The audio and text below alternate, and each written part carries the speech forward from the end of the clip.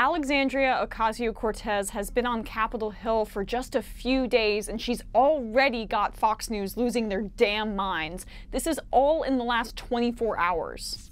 Alexandria Ocasio Cortez. Alexandria Ocasio Cortez. Alexandria Ocasio Cortez. Alexandria Ocasio Cortez. Alexandria uh, Ocasio Cortez. Alexandria Ocasio Cortez. Ocasio Cortez. Ocasio Cortez. Alexandria right, Ocasio right. Cortez. She, she's out. Alexandria Ocasio Cortez. Alexandria Ocasio Cortez. And wait, one more just because it's my personal favorite. It's Alexandria Ocasio Cortez. Alexandria Cortez. Uh, Ocasio. I mean, Alexandria Ocasio Cortez. Ah, Stuart Varney, the gift that keeps on giving. Hey, at least he's trying. But seriously, Fox News has completely lost it over Alexandria Ocasio Cortez because she's everything they fear. She's a millennial, which Fox's geriatric viewers love to sneer at. She's Latina of Puerto Rican descent, which Fox's viewers love to vilify. But most of all, the thing Fox is most obsessed with and fearful of when it comes to AOC her strength. Laura Ingraham full on lost it about Alexandria, as well as incoming no corporate PAC representatives Ayanna Pressley, Ilhan Omar, and Rashida Tlaib, calling them this. These women may as well be the four horsewomen of the apocalypse for the Democratic Party, if you ask me. The apocalypse! Yikes! She then splashed their terrifying policy priorities across the screen. Ah, giving your children health care and an education and jump-starting a sustainable economy so we can be at the forefront of green energy? Whew, I'm shaking in my boots. Look, it's no secret that Fox News goes after Democrats hard. I mean, who remembers this Fox criticism of Obama? A fist bump, a pound, a terrorist fist jab? The gesture everyone seems to interpret differently. I just.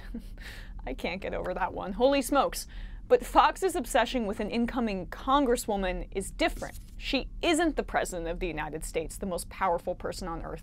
She's just headed to be one of 435 US representatives.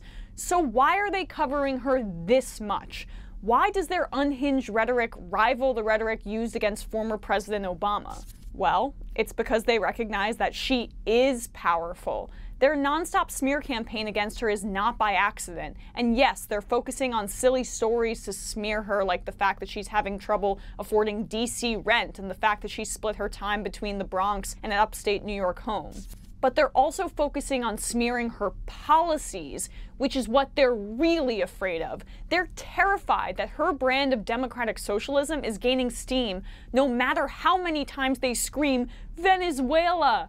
Medicare for all, 70% of Americans support it. How about college for all? More Republicans support it than don't. A Green New Deal? An overwhelming amount of Americans support the policy goals. And unlike Democrats of the past, Alexandria Ocasio Cortez is not backing down. She is refusing to take no for an answer on her important policy goals, goals that the American people actually want. Fox News doesn't want the word to get out, but they're failing, and they know it. And that's why they're terrified of Alexandria's strength.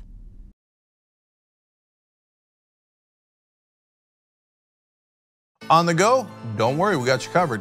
You can still listen to TYT at our new podcast network. Find us on Apple Podcasts, the Google Play Store, or at tyt.com slash podcast.